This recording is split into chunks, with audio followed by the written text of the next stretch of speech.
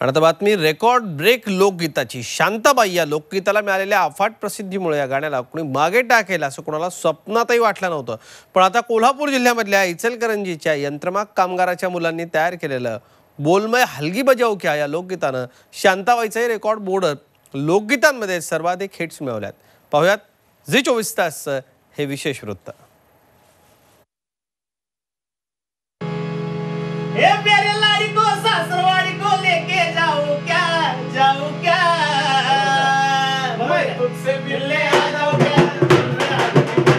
होय.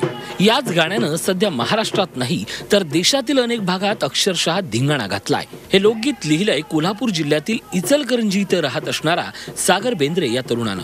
तर हे लोकगीत गायलंय सागरचा छोटा भाऊ साजन बेंद्रेनं. याला संगीत दिलंय साजन आणि विशालनं. शांताबाई या गाण्याला मिळालेल्या अफाट प्रसिद्धीनंतर आपल्याही गाण्याला सर्वाधिक हिट्स मिळतील असं यांच्या स्वप्नात देखील वाटलं नव्हतं. परिस्थितीवर मात करून या दोघांनी अनेक लोकगीतांची निर्मिती केली आहे. तिला महाराष्ट्रानं आता डोक्यावर घेतलंय. शांताबाई या गाण्याला दोन वर्षात दोन कोटी त्र्याऐंशी लाख तीन हजार एकशे एकोणसाठ इतके हिट्स मिळाले. तर अवघ्या चार महिन्यात बोल मैं हलगी बजाऊ क्या या गाण्याला एक कोटी सोळा लाख एक हजार सातशे सत्तावीस इतके हिट्स मिळालेत. माझं शिक्षण झालं सातवी. शाळेमध्ये जास्त अभ्यासाची आवड नसल्यामुळं संगीताची आवड लहानपणापासूनच.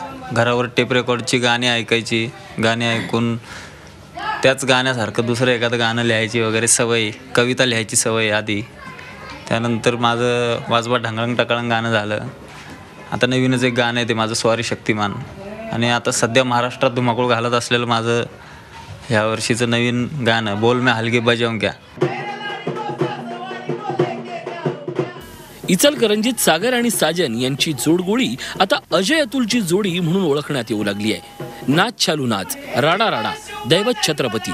भीमाचं गाणं डीजेला वाजतं.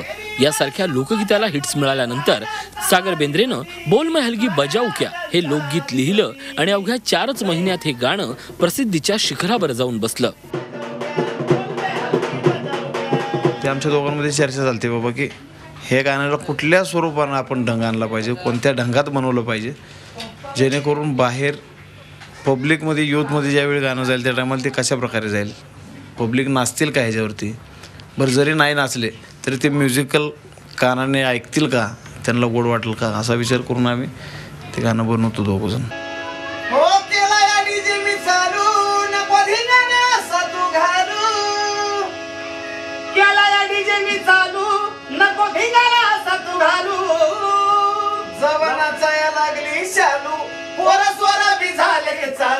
सुरुवातीला सीडी कॅसेटवर ऐकलेली गाणी हेच आपले गुरु म्हणून या तरुणांनी आपला प्रवास सुरू केला.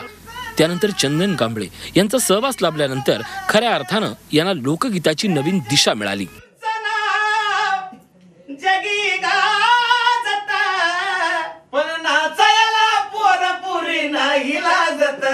गाणं भीमाचं गाणं भीमाचं भीमाचं गाणं वाजत. डीजेला वाजत. लोकगीतांच्या विश्वात इतकं कुठलंच गाणं एवढ्या लवकर व्हायरल झालं नाही. म्हणजे रेकॉर्ड सगळ्यांचे रेकॉर्ड ज्या गाण्याने मोडले ते म्हणजे बोल में हलगे बजाव क्या. हे गाणं झालं. आता त्यानंतर बोलगे बोल में हलगे बजाव क्या नंतर मला वाटतं महाराष्ट्रात अठ्ठावन्न गाणी लोकगीतं आली आणि ती पडली. म्हणजे त्यानंतर गाणंच चाललं नाही कुठलं. हे अजूनही त्या हलगीचा प्रभाव अजूनही लोकांच्या डोक्यात आहे. सासरवाड़ी को लेके जाऊं क्या जाऊं क्या? तुझसे मिलने आ जाऊं क्या? कोणताही शास्त्रीय संगीताचा वारसा नसताना यंत्रमाग कामगारांच्या मुलांनी तयार केलेलं गाणं लोकगीतामध्ये आपला नवीन ठसा उमटवत आहे बेंद्रे भावांचा जगण्याचा प्रवास कष्टप्रद असला तरी त्यांचं संगीत लोकमानसात दोन क्षण बेभान करणारं ठरतंय. आणि म्हणूनच लोकसंगीताचे हे सूर ऑनलाईनच्या जगात हिट्सचा नवा विक्रम नोंदवतायत.